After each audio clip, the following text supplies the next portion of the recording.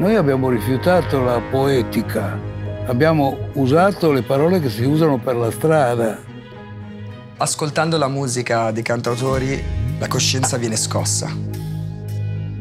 Vedere mio padre sempre con la chitarra in mano da quando ero piccolo mi ha stimolato tantissimo. Questa è la chitarra più vecchia di Fabrizio e su questa chitarra sono nate tante canzoni. Credo che non sarei esistito senza Genova. Non avrei fatto quello che ho fatto se non fossi nato qua. I vicoli di Genova, il mare di Genova, la gente di Genova, ruvida come i calli delle mani di un marinaio. In una città come questa non si può far altro che scrivere in maniera non banale, perché non è una città banale. Rapper e cantautori è un accostamento che è stato fatto da quando ho iniziato a fare questa musica.